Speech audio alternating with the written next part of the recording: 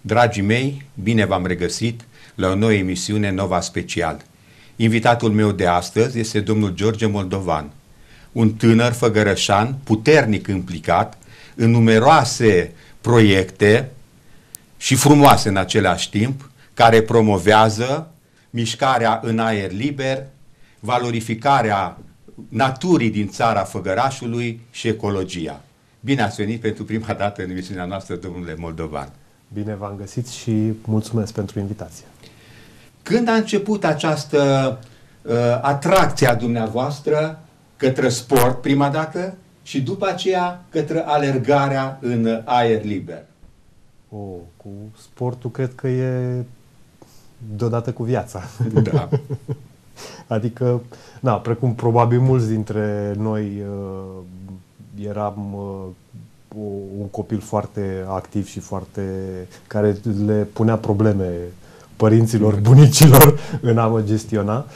Uh, da, de atunci exploram cumva limitele, limitele corpului, fără să-mi dau seama. Acum realizez ce facem toți la vârsta aia. Noi, practic, explorăm și ne formăm creierul prin mișcare. Uh, pentru alergare e ceva mai recent. Uh, uh, pasiunea, să zice. Pas, da, pasiunea. Uh, și cumva legătura, relația cu alergarea e, e de dată mult mai recentă. Uh, Practic am trecut uh, o vreme prin uh, pasiunea pentru sporturi de echipă, uh, după care a venit partea de mers pe munte, apoi cumva m-am îndepărtat de sporturile de echipă pentru că am, uh, am început să le văd și din altă perspectivă, din, din perspectiva faptului că ele fiind spectacol sunt un instrument foarte bun de ținut mintea uh, poporului ocupată și mai puțin contribuie la dezvoltarea individului. Uh, am descoperit anii trecuți, acum 3-4 ani, alergarea, ciclismul cu vreo 2 ani înainte, cumva, dacă vezi, ciclismul e pentru mine o dragoste mai mare, îmi dă, pentru că îmi dă, mă ajută mai mult să-mi găsesc starea de prezență decât alergarea. Și alergarea, cum am și scris acum vreun an pe, pe Facebook, e, a fost... Uh, am început-o practic uh, dintr-o, din căutarea de a educa mintea să nu se mai oprească să nu mai fac pauze care mă, care mă scoteau din ritm. Da. Spuneați de sporturile de echipă, la un moment dat am văzut, ați făcut chiar și handbal. Ce alte sporturi de echipă ați mai făcut? Sau numai la handbal v-ați... Ca, ca probabil mulți dintre probabil noi am, ju- am jucat de foarte mult fotbal. Fotbal, da. Ca și la asta, la asta cred că, și acum cred că aveam ceva talent, mai ales pentru perioada asta mai, mai modernă în care uh, contează tot mai puțin mingicăreala și tot mai mult felul în care reușesc să da. exploatez spațiile. Uh, doar că cumva accentul a fost pus pe, pe școală Uh, și spun a fost pus, nu l-am pus pentru că a fost și influența mediului, influența din jur. Am început să fac, am mers la handbal pe clasa noua pentru că uh, mi se părea că eram prea mic de înălțime. Da. am uh, practicat aproape 2 ani, uh, după care a, a decedat antrenorul și în momentul ăla am și renunțat. Era vorba de domnul Puciu? Exact. Da, da. Și din momentul ăla am trecut foarte mult, dar la modul amator pe basket. Da. Că astea au fost. Uh, acum, mai recent, mai urmăresc doar uh, basket american și tenis, da. care sunt practic uh, ultimele sau cele mai noi uh, pasiuni dintre sporturile de echipă și cele care mi se pare, în care mi se pare că văd foarte mult uh, dincolo de partea efectiv sportivă. Văd foarte multe uh, valențe de leadership, de dezvoltare emoțională, uh, de dezvoltare personală și văd abordarea, spun basketul american, pentru că la ei chiar văd abordarea din, din toate unghiurile a sportului. Să vorbim despre proiectele la care ați participat și ați participat în mod solid la, la ele. Să începem cu bikeathon pentru că spuneați de iubirea față de mișcarea pe bicicletă? Da, uh, Bikeathon mi se pare un proiect care a, a schimbat multe și o să mă auziți probabil uh, spunând de mai multe ori cuvântul ăsta sau a transformat chestii în, uh, în țara Făgărașului. Și le spuneam fetelor uh, în mai multe rânduri că mi se pare fascinant să văd după față de acum vreo 10 ani când, uh, sau nu, hai să punem în perspectivă și mai mult, față de atunci când eram mic și vedeam foarte mulți oameni mergând cu bicicletele prin oraș, acum vreo 10 ani nu mai vedeam pe nimeni și în verile astea sau în, sezonul, în sezoanele calde din ultimii ani uh, mergi cu bicicleta și prin oraș și pe la țară și vezi foarte mulți uh, puști cu biciclete, ceea ce mi se pare, mi se pare fantastic. Am participat vreo 2 ani ca uh, ciclist, după care uh, un an am fost uh, project manager și uh, acum uh, continuăm uh, experiența în alte proiecte. Uh, așteptarea mea a fost după Baicaton că tot mai mulți făgărășeni, că pe tot mai mulți făgărășeni îi voi vedea cu bicicleta prin oraș. Ei se duc, asta e părerea mea, contraziceți-mă dacă nu, uh, se duc la Baicaton, vin acolo cu sutele, dar după aceea nu i-am mai văzut prin uh, oraș circulând cu bicicleta, tot cu mașina să duc și până în piață. Eu sunt unul dintre oamenii care nu mai și nu mai cu bicicleta uh, umblu prin oraș, chiar așa cu o anecdotă. La un moment dat mergeam pe jos și cineva mă întreabă, băi, dar unde ți-e bicicleta? da. Deci da. la capitolul ăsta sunteți, uh, sunteți uh, în același film în care sunt eu cu da. pantalonii da. scurs de mă da. întreabă lumea dacă uh, am fost la un eveniment și am pus pantaloni lungi, erau, erau surprins să mă vadă în pantaloni da, lungi. Da, da. Deși acum lumea mea obișnuită, hai că vă mai spun încă una. Uh, eu am fost printre primii adolescenți în Făgăraș care au umblat în pantaloni scurți. Eram ciudat privit și la un moment dat uh, se întâlnește mama care era cadru didactic cu două prietene și întreabă, nu, nu știu, nu l-am mai văzut pe băiatul dumneavoastră, doamna Magape, și cealaltă spune, păi nu știi tu, e la care alargă în chiloți prin oraș. da. Erau atunci, totuși, era o curiozitate. Acum mulți oameni, ați văzut și oameni în vârstă și umblă în pantaloni scurți. Eu vorbesc da. de iarnă. A, de iarnă. Da. Da, da. Uh, da. Uh, Acum cum, să revenim mi, la... Mi se, pare, mi, se pare, mi se pare relevante perspectivele astea pentru că arată cum oamenii se pot obișnui cu da, ceva da. Chiar și uh, cu ceva ce la început îi surprinde. Da. După care se obișnuiesc cu acel ceva, după care sunt surprinși când acel ceva e întrerupt de o, da. un exemplu diferit. Da, da. Ei, ce credeți? De ce nu fac și pasul următor după Bikeathon să folosească mai mult bicicleta și în viața de zi cu zi? Uh, cumva mi se pare că e important să avem răbdare pentru transformarea, pentru transformarea comunității. Uh, din orice perspectivă ar fi ea. Mi se pare că e important să conștientizăm că transformările la nivel social nu se întâmplă de la bu- un buton. Bine, nici la nivel individual nu se întâmplă, pentru că Uh, uite, aici aș face o mică paranteză, pentru că uh, aș vrea să spun ceva ce cred că poate să pună în perspectivă tot restul discuției. Uh, suntem, uh, uh, cred că e, imp- e important să conștientizăm cum funcționăm noi ca ființe. Uh, sunt noi uh, am, avem pretenția sau am vrea să acționăm doar din mintea conștientă, dar de fapt 95% din timp uh, ce percepem și ce, uh, cum percepem și ce alegem uh, e reflexia minții subconștiente, e felul în care lucrează mintea subconștientă. De fapt, percepția noastră și alegerile noastre, implicit acțiunile noastre, reflectă, reflectă mintea noastră subconștientă. Da, da.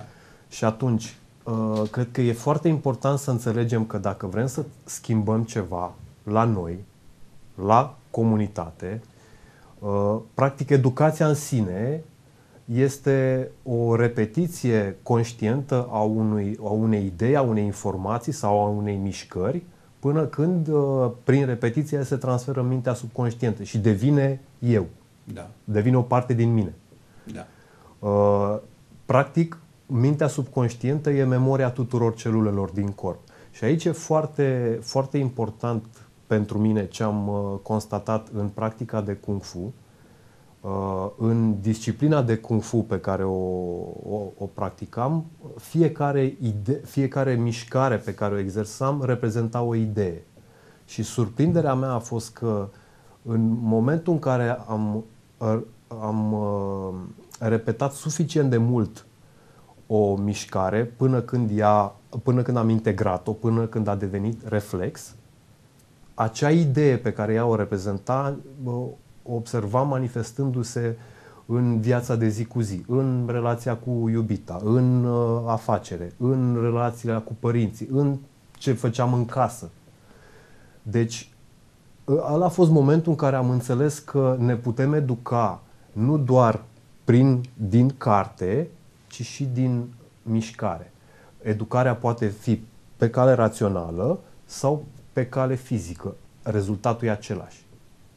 Și da, de-aia, de-aia, de-aia sportul are, cred că e, e important să înțelegem ce unealtă fantastică de educare e sportul. Pentru că rezultatul poți să-l obții în același fel și educându-ți corpul și educându-ți de fapt tot corpul îl educi pentru că memoria subconștientă e suma, e memoria însumată a tuturor celulelor din corp. Și asta o vedem foarte simplu la șofat.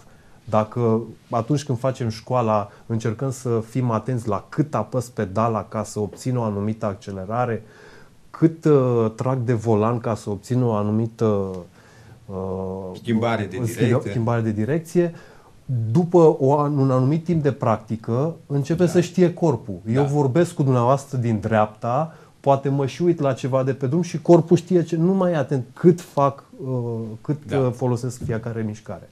E, uh, din perspectiva asta, cred că e, e important să înțelegem uh, tot mai mult ce potențial uh, are mișcarea pentru a educa individul și pentru a educa comunitatea, societatea. Și în, uh, în felul ăsta, cred că putem înțelege mai bine de ce uh, faptul că am participat la un eveniment nu schimbă mare lucru. Repetiția schimbă.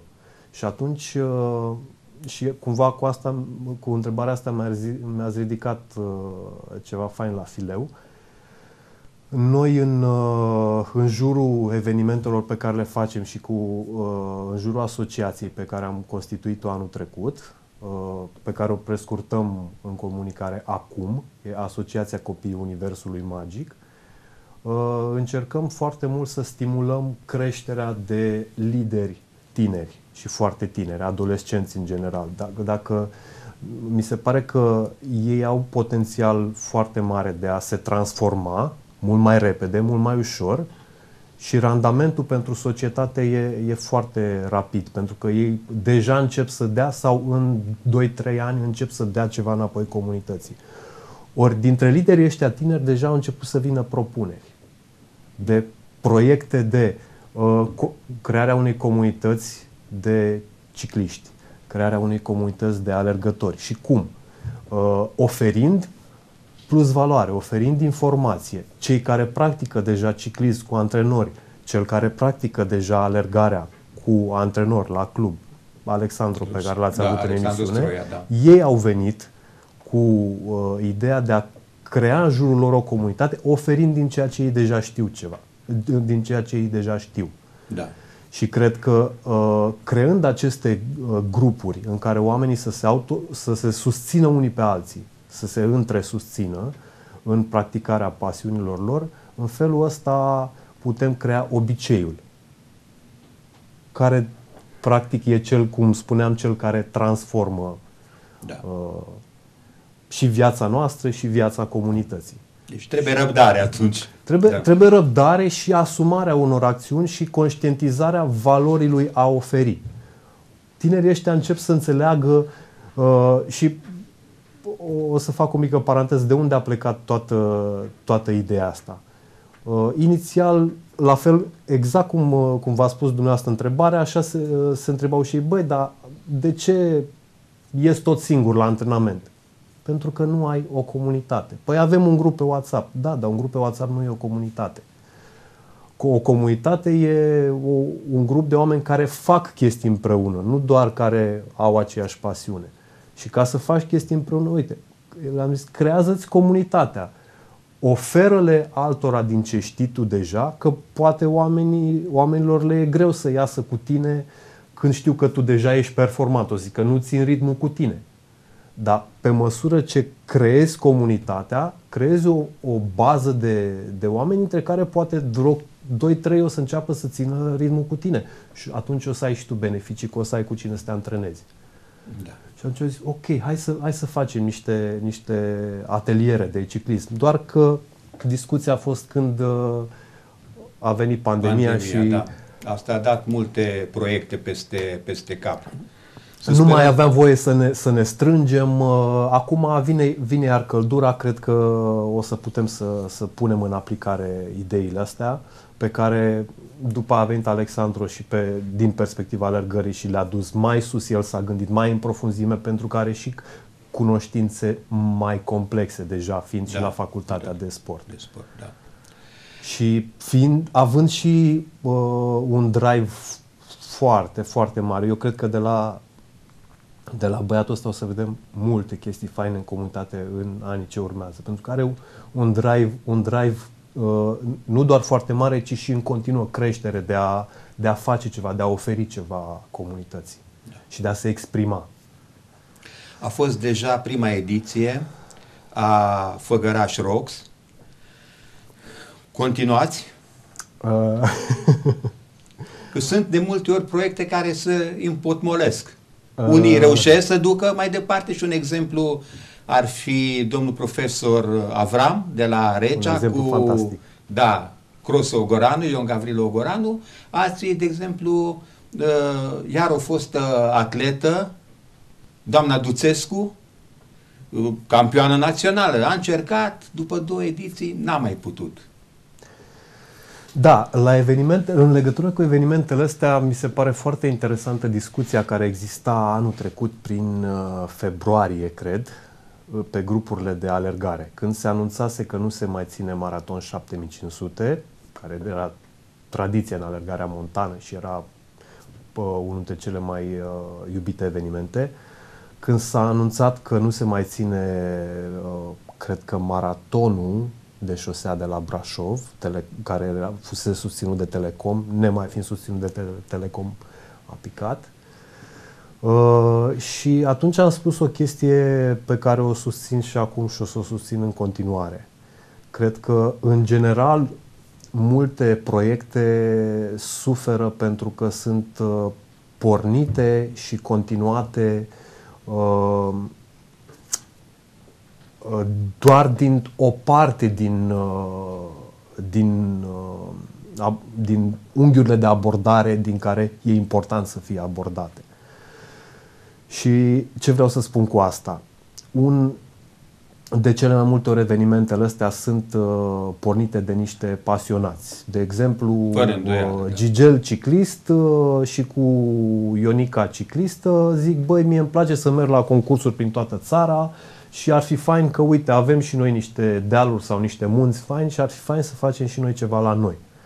Dar uh, uneori nu sunt, uh, nu știu cu ce se mănâncă un brand, nu știu să construiască un brand. Și asta e important. Da. Pe termen mediu și lung. La început e important entuziasmul și cu ala, aia să merge înainte 2-3 ani, foarte fain. Uh, dar pe termen mediu și lung e important brandul. Uh, e foarte important, uh, eu am spus mereu, cu riscul de a supăra uh, anumiți sportivi, pe termen scurt, valoarea evenimentului o dau participanții. Pe termen mediu și lung, valoarea evenimentului o dau voluntarii. E foarte importantă cultura voluntariatului și, iarăși, foarte mulți dintre organizatori nu înțeleg cu ce se mănâncă voluntariatul. Mulți tratează voluntarii ca pe niște angajați sau pe niște subordonați sau ca pe niște oameni utili lor. Da. Ori voluntariatul înseamnă un context în care le ofer voluntarilor uh, șansa să crească, să învețe, le oferim pli- șansa să găsească și găsească sens și împlinire, una dintre astea sau toate împreună, și în acest context ei te și ajută pe tine. Ori dacă nu reușești să creezi cultura asta, dacă nu reușești să creezi uh, uh, senzația asta pentru ei, că are sens pentru ei să participe, nu pentru tine, n-ai sprijinul pe termen mediu și lung de care ai nevoie și în momentul ăla totul se, ră, uh, rămâne să se rezume la eforturile tale. Și poți să fii Gheorghe Dracu că la un moment dat tot ți se termină energia.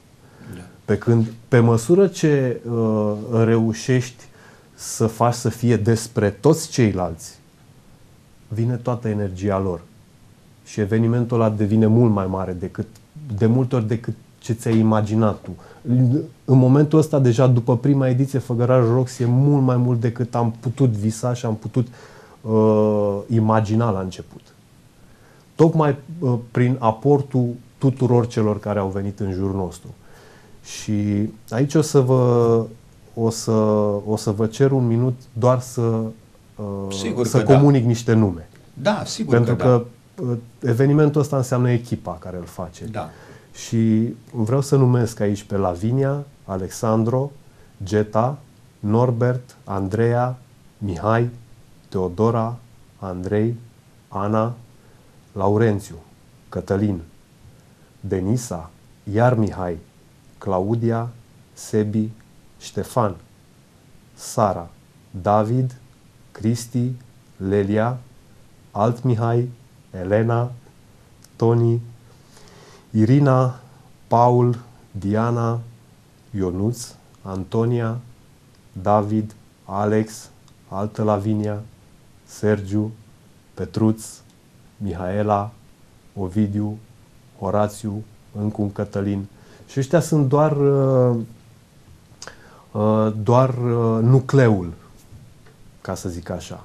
Nucleul destul de mare. Da, e un nucleu mare și practic sunt oameni care au venit anul trecut lângă noi Cred că mai degrabă pentru entuziasmul meu, că pentru realismul proiectului nu se poate spune că au venit, pentru că nu exista. Acest da. Nu era nimic realist în, în felul în care l-am văzut noi atunci, noi doi, trei oameni, și l-am, l-am proiectat l-am proiectat ca în câțiva ani să fie în circuit internațional și în trei ani să fim în top 3 în România. E un proiect ambițios atunci. Da, doar că noi am zis așa. E principiul ăla. Shoot for the moon and if you miss it, you might hit a star. Da.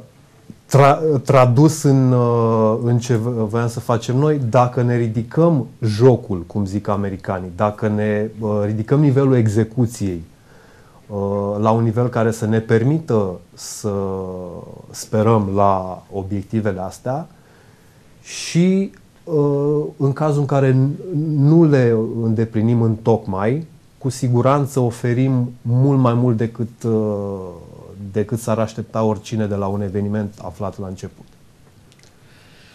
Pe lângă mișcare, am observat că promovați foarte mult și frumusețile țării Făgărașului.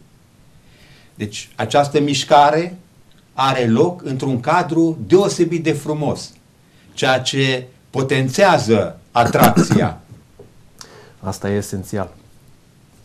Și uh, o să revin puțin, că chiar se leagă frumos, cu ce începusem să zic mai devreme despre evenimentele care, uh, pic, care au, nu, nu se susțin pe termen lung.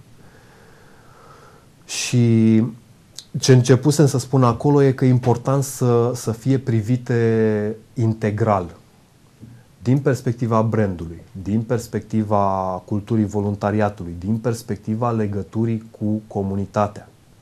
Mi se pare extrem de important pentru că sunt foarte multe evenimente de, de genul ăsta care se întâmplă într-un anumit perimetru fără să interacționeze cu acel perimetru. Eu, Gigel, fac uh, grătar în uh, grădină la Sandel, când Sandel e vegan.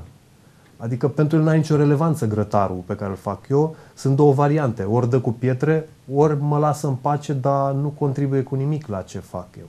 Și pentru, mine, pentru el nu are importanță ce fac eu. E, e, e extrem de important să punem în context, uh, în contextul local evenimentele astea. Și în al patrulea rând, o să revin la ce spuneam adineaur, că se, asta s-a legat cu întrebarea noastră, dacă să închei ideea de mai devreme, în al patrulea rând, uh, pasionații care au pornit evenimentul X sau Y poate nu sunt, uh, nu sunt uh, foarte uh, sus ca abilități sau ca cunoștințe de comunicare. Și nu și, unii și au, unii nu și au în jur oameni buni de comunicare. Și asta uh, nu îi ajută să facă un fundraising de calitate, neavând resurse, nu oferă atâtea cât ar putea să ofere. Și uite așa, acești, acești, aceste patru elemente importante pe care le-am punctat, uh, le-aș vedea ca patru cuie de la cort, din cele patru colțuri ale cortului. E, pleacă evenimentul pe entuziasm, un an, doi, hai trei. După care, dacă îi lipsesc unu, două, trei cuie, mai devreme sau mai târziu, îl ia câte, câte vreme bună e, e ok. Da. Când vine vremea rea, ori îl ia vântul, ori ia apă. Da, da. Și cam așa își pierd din consistență multe din evenimente. Ori dacă le privim dintr-o, dintr-o perspectivă integrală și integratoare și le acordăm cu toate cele, uh, cu toate cele patru elemente cheie, eu cred că evenimentele au uh, posibilitatea și au șansa să devină ceva consistent și să crească, să aibă o propria lor creștere, să nu mai depindă de energia inițiatorului pe termen mediu și lung. Ori, uh, unul dintre elementele astea, cum a zis, e frumusețea locului și locul. E, noi am uh, uh, am pornit la ideea de a transforma indivizi și a transforma comunitatea. Cum facem chestia asta? Cum încercăm să facem chestia asta? Uh, în primul rând încercăm să, să inovăm cât mai, cât, cât, să fim cât se poate de creativi în uh, abordarea alergării montane. Uh, prin, uh, prin inovație, practic, uh, încercăm să atragem cât mai mulți oameni în zonă. Uh, zona, dacă vrea să se dezvolte din perspectivă turistică, are nevoie sine qua non, cred, de infrastructură turistică. Degeaba îl chem pe om, tu ai pensiunea dacă el nu trăiește experiența. Uh, Uh, cred că a trecut de mult vremea turismului de mutat fundul dintr-un loc în altul și mâncat altundeva decât acasă. Cred că turismul înseamnă experiențe. Ce experiențe trăiesc oamenii acolo depinde de infrastructura pe care o au și de facilitatori. Că ei cred că va fi important să dezvoltăm și o, o rețea de facilitatori. Dar revenind, pentru uh, pentru ca zona asta să poată fi pusă în valoare, uh, oferim uh, operatorilor de turism din zonă una dintre, dintre componentele ei esențiale. Infrastructură care să faciliteze experiențe. Anul trecut am reabilitat împreună cu partenerii de la Asociația Montană Carpați și cu voluntarii de aici din, din zonă, cu, din care aș evidenția, uh, aș evidenția voluntarii de la Dedien care au două zile nu s-au dus la fabrică, au venit cu noi pe munte. Uh, am reabilitat 55 de kilometri de trasee turistice montane. Reabilitat în mare, în mare parte, mai avem de pus niște stâlpi pe creastă pe care uh, din uh, niște dificultăți tehnice pe care le-a avut elicopterul care trebuia să vină, au rămas, uh, a rămas povestea asta pe, anul ăsta după ce se duce zăpada. Anul ăsta mergem un pic mai departe. Că ne place vorba lui Hannibal, care a zis uh, la un moment dat când cum a ajuns cu elefanți în Italia. El a zis aut inveniam, uh, vid aut faceam. Altfel spus, găsim un drum sau facem unul. Da. Dacă a fost foarte apreciată la prima ediție uh, inițiativa noastră de a duce traseele turistice nu pe văi, pe unde vezi câțiva copaci în jurul tău, cum sunt la majoritatea evenimentelor. Și aici fac cumva legătură și cu inovarea, ci uh, să folosim faptul că în estul făgărașilor avem singurele muchii de pe creasta nordică, de pe uh, uh, fața nordică a făgărașilor, care pot fi abordate până în creastă fără cunoștință de alpinism. Și am zis, ok, uh, hai să ducem alergătorii pe muchii, pe muchia matematic, unde ai vedere 360 de grade. E spectacol, spectacol, spectacol, spectacol vizual, e senzație, e experiență. Da. Aici am făcut clicul cu experiența. Uh, una este, prin pădure poți să te plimbi prin multe locuri și să ai aceeași senzație. Senzația de pe muchile uh, făgărășene nu ai, nu, nu prea ai pe unde să o ai în uh, multe locuri din țară. Și aici intervenea o altă problemă. Salvamontul pentru a acorda asistență ne-a cerut să ne-a cerut să ne rezumăm la trasee turistice. Am zis ok, ne rezumăm la trasee turistice, făcându-le trasee turistice pe Acolo astea de care deja sunt apreciate și în 150 de formulare de feedback de la, de la alergătorii de anul trecut am regăsit foarte des aprecierea pentru, pentru muchile astea. Și pentru că sunt, uh, sunt niște trasee foarte faine pe care, care noi ne minunăm de faptul că nu sunt exploatate turistic, nu sunt nu exploatate, nu-mi place termenul ăsta, valorificate turistic, da. Uh, dintre care una chiar prin anii 70, am găsit-o printr-o carte de turism de prin anii 70 că exista uh, traseu pe Muchia Scărișoara, plus Muchia Babei pe care noi am tot bătut-o și iarna asta. Uh, avem uh, concursul Consiliului Local, de la Recea, concursul Salvamontului și concursul Asociației Montane Carpați care ne sprijină în continuare cu plus uh, SOS Satele Făgărașilor, care sunt ultimii care au, au omologat trasee turistice montane în țara Făgărașului. Să facem demersurile către Ministerul Turismului pentru a le omologa. Domnule Moldovan, am mai fi avut multe lucruri interesante de, de discutat. Din păcate, timpul acordat emisiunii noastre a luat sfârșit, așa că eu uh, vă doresc mult succes în tot ce veți întreprinde de acum încolo și multă sănătate la toți cei care sunt implicați în aceste frumoase proiecte. Foarte mulțumim! Dragii mei, până la viitoarea emisiune, Mihai Maga vă dorește multă sănătate și liniștea pe deplin meritată.